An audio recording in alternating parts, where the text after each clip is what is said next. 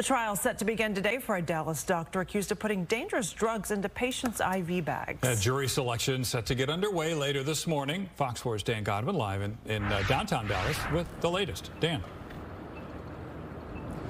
And Brandon, during a pre-trial hearing, the judge in this case indicated he thought this trial should run for about a week. We will see how long it takes the prosecution and the defense to present their cases. Dr. Reynoldo Ortiz was arrested in 2022 on tampering charges. He's accused of putting dangerous drugs in saline bags at Baylor Scott and White Surgicare in North Dallas. Surveillance video captured the defendant repeatedly placing IV bags into a warmer minutes before nurses took bags out of the same location.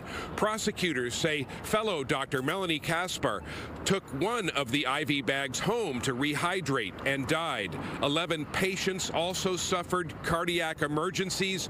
Attorneys for Ortiz say the surveillance video does not show him actually inserting drugs into the bags. If he's found guilty, Ortiz could be sentenced to life in in federal prison.